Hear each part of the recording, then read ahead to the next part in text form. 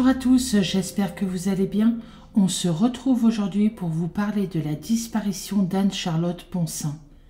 Anne-Charlotte a disparu en Amberieux en Bugey le 5 janvier 2016 vers 10 heures. Anne-Charlotte a quitté son domicile vers 10 heures, où elle vivait avec sa femme Margot. Elle a emporté juste ses papiers, carte d'identité, carte bancaire, permis. Anne-Charlotte et Margot jeunes mariés passent le réveillon de la Saint-Sylvestre chez des amis. Le vendredi 1er janvier 2016, les parents d'Anne-Charlotte reçoivent un texto de leur fille pour leur souhaiter une bonne année. Comme le déclara son père, d'habitude elle nous appelle. Mais bon, cela ne l'a pas alarmée. Aucune nouvelle de l'une ou de l'autre jusqu'au mercredi 6 janvier, lorsque Margot les avertit que sa compagne a disparu. Elle n'a pas revu Anne-Charlotte depuis la veille. Immédiatement, les parents d'Anne-Charlotte partent pour Amberieux en Bugey, dans l'Ain, et retrouvent Margot à son domicile. Ils arrivent à l'appartement. L'appartement est en bazar. Elle est avec Kaya, leur chien, husky. Elle est souriante, ne paraît pas bouleversée, raconte Eliane, la maman d'Anne-Charlotte. Elle leur explique qu'Anne-Charlotte est partie le matin précédent, vers 10 heures, pour aller faire la tournée des agences d'intérim et quelques achats. Après lui avoir précisé de ne pas l'attendre pour le déjeuner, en fin d'après-midi, s'inquiétant de son absence, elle a prévenu la gendarmerie. Les gendarmes ont retrouvé sa voiture à 300 mètres de la maison, correctement fermée et garée. Je vais vous présenter Anne-Charlotte. Anne-Charlotte est une jeune femme de 30 ans elle est née à Vienne en décembre 1985. Ses parents se séparent alors qu'elle n'a que deux ans. Sa mère Eliane rencontre alors Bernard, lui-même séparé et père de deux enfants, vivant avec leur mère. Ils s'installent tous les trois à Beaurepaire en Isère. Tout va bien pour Anne-Charlotte, même dans sa scolarité en maternelle, en primaire. Elle entre au collège, mais n'y reste qu'une année car elle a choisi de s'orienter en section sport-études. Elle reste en internat jusqu'au brevet. Comme elle est attirée par le football, elle intègre le club d'Épinouse, où elle est la seule fille dans une équipe de garçons. Ses parents apprennent qu'elle est homosexuelle, alors qu'elle a 16 ans. Ce n'est absolument pas un problème pour eux. Elle amène régulièrement ses copines à la maison. Ça leur pose aucun problème. Tant qu'elle était heureuse, c'était le principal.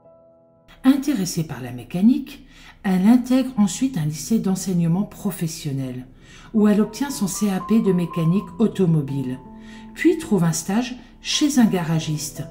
Mais elle se blesse et décide de ne plus y retourner, sans donner de raison particulière. Elle a 17 ans et arrête sa formation pour trouver du travail. Entre 2006 et 2012, Anne-Charlotte traverse une période difficile lors de laquelle elle enchaîne les petits boulots entre des périodes d'inactivité où elle reste chez ses parents, souvent seule. Elle occupe ainsi des emplois d'été, ramassage de fruits, vendange, travail dans l'entretien, la préparation de commandes, la manutention. Elle est même recrutée comme agent de sécurité dans une entreprise de la région lyonnaise. Elle profite de ce moment pour passer son permis de conduire afin de ne plus avoir à se déplacer en cyclomoteur. Elle se met à fréquenter aussi des boîtes de nuit avec ses amis. Elle profite de la vie. À cette époque-là, elle a une relation sentimentale avec une aide-soignante. Elles se paxent, vivent ensemble, mais leur relation malheureusement s'achève au bout d'un an. Au début de l'année 2013, sans en parler à ses parents, elle se rend à Lyon pour passer des tests afin d'intégrer l'armée. Elle les réussit et part trois mois en stage dans une école militaire. Elle souhaite alors rejoindre l'arme blindée et cavalerie, ABC. À l'issue de sa formation militaire, elle est affectée comme soldat de première classe au 68e régiment d'artillerie implanté. Dans le camp militaire de la Valbonne, près de Lyon. C'est là qu'elle rencontre Margot, institutrice à l'école militaire. Ses parents la rencontre assez rapidement. Comme ils déclareront, elle est sympa, issue d'une famille plutôt bourgeoise de Narbonne, indique son papa. De 2013 à 2014, tout se passe bien. Elles vivent dans la caserne de Valbonne. Anne-Charlotte se rend souvent en mission à Kunger, dans le Var, et Margot démissionne pour s'installer avec elle dans un appartement du centre-ville d'Amberieux en Bugey dans l'Ain. C'est à ce moment-là où elles ont acheté un chien prénommé Kaya. Anne-Charlotte aime bien se promener avec lui, faire des balades dans la nature et prendre des photos. Elle va souvent dans le secteur des cascades du Hérisson.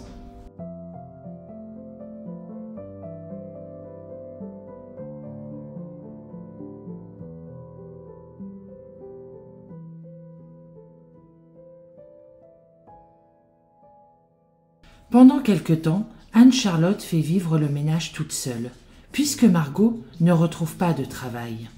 C'est à cette époque que, lors d'un exercice de tir au mortier, Charlotte oublie de mettre son casque et qu'elle est blessée gravement au tympan. Il faudra attendre un an avant qu'elle soit réformée. Suite à ça, Anne-Charlotte souffre de la maladie de Minière, qui se caractérise par des vertiges et des acouphènes bourdonnement dans les oreilles. Anne-Charlotte et Margot vont souvent voir les parents d'Anne-Charlotte, Bernard et Eliane, d'autant plus que Margot a pris des distances avec sa famille. Elle se marie en mai 2015. Le maire a refusé de les marier. Il était contre le mariage homosexuel. C'est l'adjoint qui les a mariés. Elles partent faire un voyage de noces à Disneyland Paris. À leur retour, Anne-Charlotte trouve un travail intérimaire comme préparatrice de commandes dans la plaine de l'Ain. Margot, quant à elle, entame des cours par correspondance pour devenir aide vétérinaire. À l'occasion des fêtes de Noël 2015, Margot passe le réveillon avec sa famille dans le Roussillon et Anne-Charlotte chez ses parents avec sa marraine. Ses parents diront Elle nous semble plus silencieuse et songeuse qu'à l'accoutumée, mais on met ça sur le compte des mauvaises relations qu'elle entretient avec sa belle-mère. Car il faut savoir que Margot ne passe pas Noël avec elle, elle est allée dans sa famille. Le lendemain de Noël, Bernard se rend à Motoban pour récupérer ses petits-enfants, et il en profite pour prendre Margot au passage et la ramener dans l'Ain. Tout s'est bien passé au réveillon. Elle reste quelques jours en compagnie d'Anne-Charlotte chez ses parents. Les deux femmes ont l'air bien toutes les deux, pas de tension particulière. Malheureusement, Eliane et Bernard, c'est la dernière fois qu'ils verront leur fille.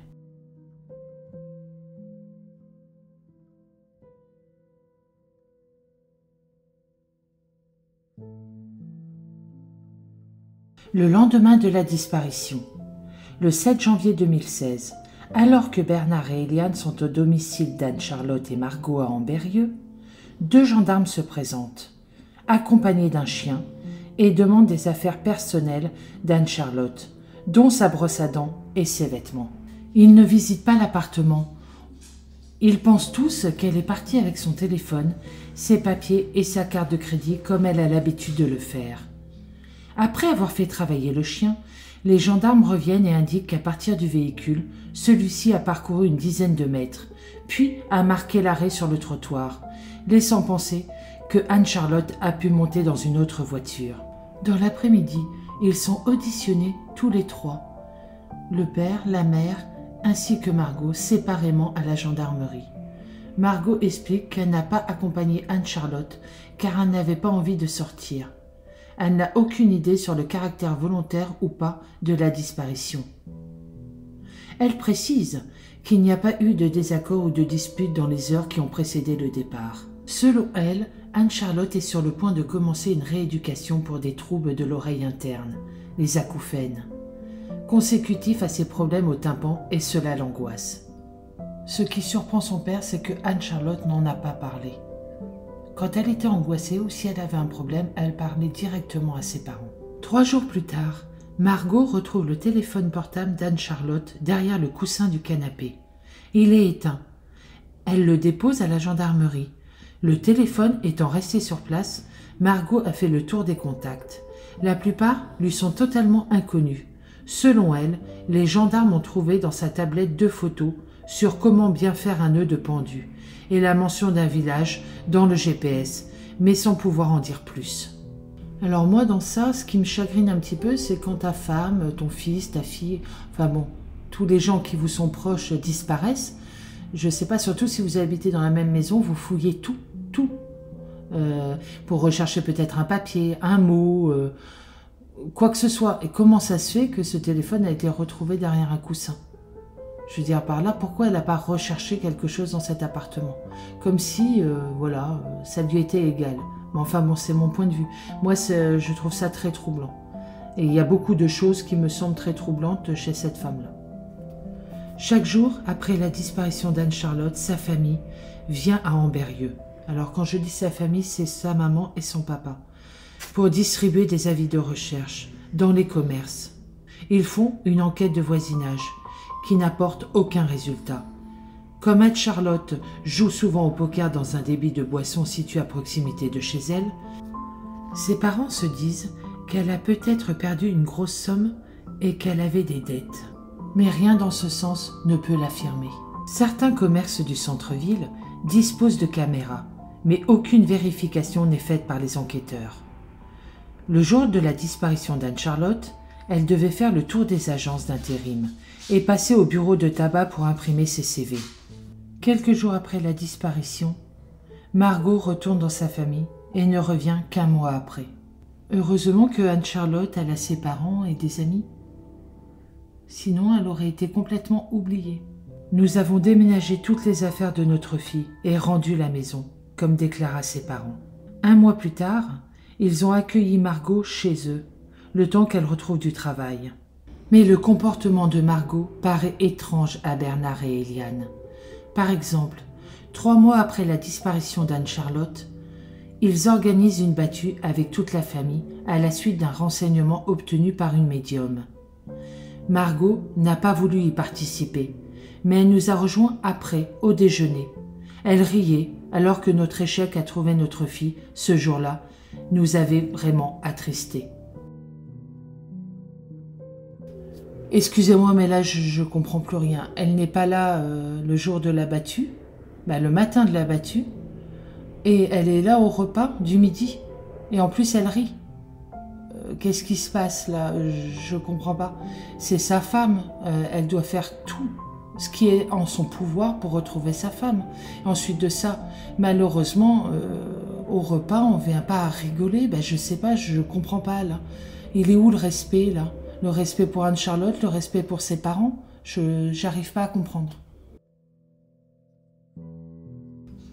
Ne pas la comprendre, c'est une chose, mais ils finissent par se rendre compte qu'elle leur ment. Souvent le week-end, elle disait aller à Lyon. Mais un jour, en ouvrant le courrier de la banque de ma fille, comme déclara son père, j'ai vu sur le relevé bancaire qu'elle passait le péage pour aller au sud et non au nord, en direction de Lyon. Je n'ai rien dit, car je voulais que cela vienne d'elle et qu'elle nous en parle, mais ce n'est jamais venu. Ce qui est sûr, c'est qu'elle nous avait menti là-dessus. Je pense qu'elle avait une nouvelle copine. Puis, elle a déménagé pour s'installer à 10 kilomètres de chez nous. Et nous, n'avons plus eu de nouvelles d'elle. Elle est partie vivre dans la Drôme en juin 2016 avec sa nouvelle petite amie. Bernard ne veut pas la confondre et ne lui pose pas de questions jusqu'à ce que son intuition soit confirmée. La dernière fois que j'ai eu Margot au téléphone, comme il déclara, elle nous a recontactés pour nous demander qui était notre avocat pour qu'il s'occupe de son divorce. En effet, toujours officiellement mariée avec Anne-Charlotte, elle ne pouvait pas obtenir les prêts qu'elle voulait faire. Bernard la suit sur Facebook. Il sait qu'elle est allée au Mexique faire un stage de plongée pendant six mois, l'année dernière. Certainement la raison pour laquelle elle avait besoin d'un prêt. Ayant une procuration sur le compte de sa fille, Bernard constate qu'il n'y a aucun mouvement sur son compte bancaire. Sa carte vitale n'est pas utilisée non plus. Je suis certain, comme déclara son père, que ma fille n'a pas disparu volontairement. Et le problème, c'est que je ne sais rien de l'enquête que font les gendarmes. Malheureusement, c'est la porte ouverte à toutes les hypothèses, et les questions restent sans réponse. Comme déclara son père, je ne comprends toujours pas aujourd'hui pourquoi Margot ne nous a pas appelés pour nous demander si Anne-Charlotte n'était pas chez nous quand elle n'est pas rentrée. C'est étrange. Je veux dire que si elle pensait que sa compagne avait vraiment disparu, la première chose à faire, c'était de nous appeler pour vérifier qu'elle n'était pas chez nous. C'était le plus probable, mais peut-être qu'elle savait qu'elle n'y était pas. Et dans ce cas, comment le savait-elle? Je ne comprends pas pourquoi les gendarmes ne se sont pas intéressés à Margot comme cela se fait habituellement, pour les personnes les plus proches du disparu. Et même si Bernard veut bien admettre qu'Anne-Charlotte a disparu en pleine journée, dans le centre d'Ambérieux, pourquoi personne ne l'a vue, ni ne lui a parlé.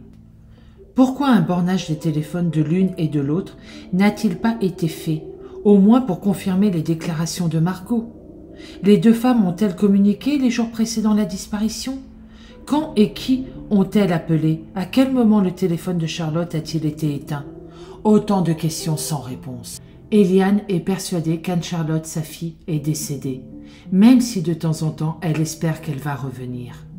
Bernard, de son côté, depuis la disparition de sa fille, fait paraître chaque jour un nouveau message de recherche sur Facebook. Comme souvent dans ce type de disparition, une dizaine de radiesthésistes les contactent affirmant avoir vu Anne-Charlotte décédée ou enfermée autour d'Ambérieux, en Ardèche, vers Chambéry ou encore à Mâcon.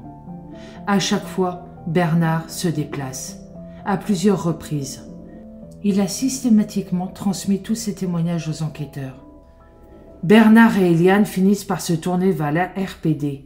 Ils prennent un des avocats de l'association et une information judiciaire pour enlèvement et séquestration est ouverte. L'analyse de la procédure met en évidence toutes les pistes qui n'ont pas été explorées dès le signalement de la disparition. Aucune enquête de voisinage n'avait été faite, au motif qu'il pleuvait et neigeait au moment de son départ. De nombreux éléments, notamment les données téléphoniques et les enregistrements de vidéoprotection, sont maintenant définitivement perdus. Les parents d'Anne-Charlotte n'ont toujours pas revu les enquêteurs, depuis plus d'un an. Hormis de brefs échanges téléphoniques avec eux, toujours aucune nouvelle. Depuis l'arrestation de Nordan Lelandais, la cellule Ariane a regroupé plusieurs disparitions dans le même secteur. Anne-Charlotte en fait partie. Pour l'instant, l'enquête est toujours en cours. Anne-Charlotte a disparu depuis cinq ans. Sa famille ne cessera jamais de la rechercher. Ils veulent savoir la vérité. Je tenais à remercier énormément sa famille pour m'avoir donné l'autorisation et de m'avoir aidé dans cette vidéo. Et surtout, de m'avoir fait confiance pour parler d'Anne-Charlotte. Merci énormément et je vous souhaite énormément de courage et je vous soutiens du fond du cœur et j'espère que Anne-Charlotte sera retrouvée. Je voulais vous demander de faire partager cette vidéo ou l'avis de recherche d'Anne-Charlotte, c'est vous qui choisissez pour que Anne-Charlotte ne soit pas oubliée, et d'aller soutenir sa famille sur leur site, s'il vous plaît. Faites en sorte que Anne-Charlotte ne soit pas oubliée et que sa famille soit énormément soutenue. Merci beaucoup. Voilà, c'est la fin de cette vidéo. Moi, je vous dis à bientôt dans une prochaine vidéo et surtout, prenez soin de vous.